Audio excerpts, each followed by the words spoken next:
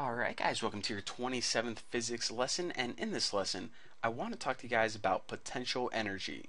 So now that we understand the difference between power and work, let's go ahead and talk about energy.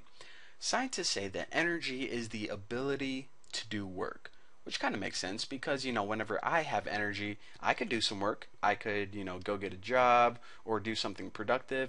Even though I usually just watch movies or go to McDonald's, I have the ability to do work, which is the important thing. So we already know whenever we're talking about work in physics, we're talking about force times displacement. So now that we understand that, let's go ahead and talk about potential energy or the ability to make this crap happen. So probably the easiest example I can think of is when you have an apple that's growing from a tree. Now of course, whenever apples grow up, mature, grow ripe, they fall to the ground. But right now, this apple is still growing. It isn't doing crap.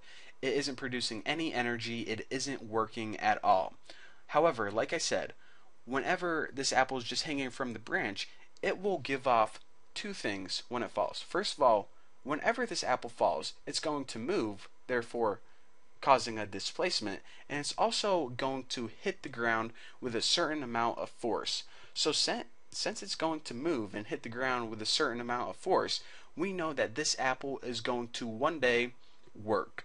It's going to produce energy, and since this apple has the potential to work one day, we call this potential energy. Potential energy. So basically, when something isn't working yet or not giving off any energy, but it has the potential to do so, we call the energy that is stored in this apple potential energy.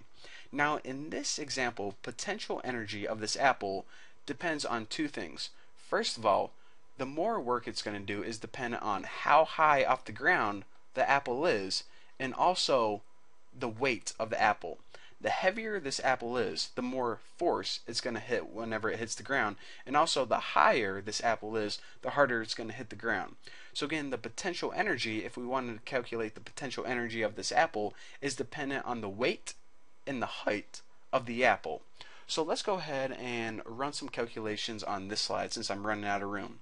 So, the formula for potential energy is equal to weight and or, excuse me, didn't mean equals to, weight times height. The heavier and the higher off the ground something is, the more potential energy it has, the more it's going to work eventually. So we'll say that the apple has, I don't know, let's give it a weight of equal to 6 newtons and we'll give it a height. How far do apples usually grow off the ground? Well, apple trees are pretty big. I don't know, like uh, I don't know. I'm just going to say something stupid like 20 meters, even though that would probably be a really huge apple tree.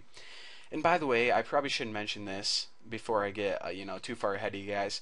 I know that I usually say that Newton is the unit for force, but weight and force, since gravity is consistent on Earth, pretty much weight and force are the same thing or equal.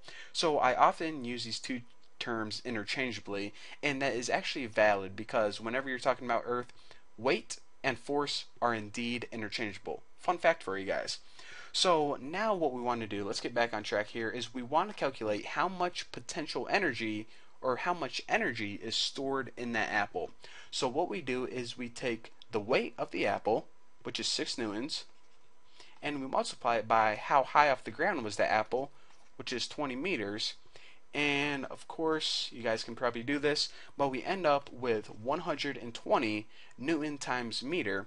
And if you remember from the last tutorial, whenever you have Newton times a meter, you end up with a joule.